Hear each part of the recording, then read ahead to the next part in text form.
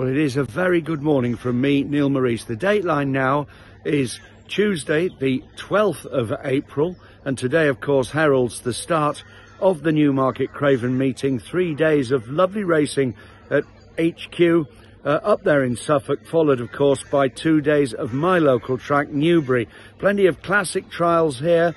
And uh, I'm going to give you a free bet today, and it is indeed in one of the trials, the 335 at Newmarket. This is the Nell Gwyn, a Group 3 race and a race that usually has some sort of a bearing on the outcome of the 1,000 guineas.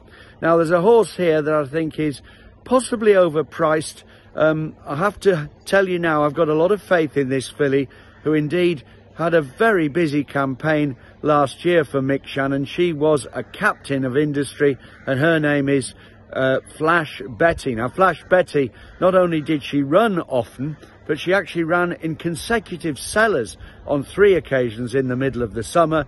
But then she suddenly took a new lease on life, and that saw her at the end of the season here at Newmarket on the Rowley Mile run an absolute cracker to finish second in a listed race beaten in a desperate finish. Now, on that occasion, her jockey decided to take the bull by the horns from the start and make the running, and I'm pretty sure that that's what Silvestre de Sousa, his game plan will be today on Flash Betty. She is a 14 to 1 shot with Sky Bet. Now, four places emanate with them. If I were you and you have an account, I'd certainly go for that.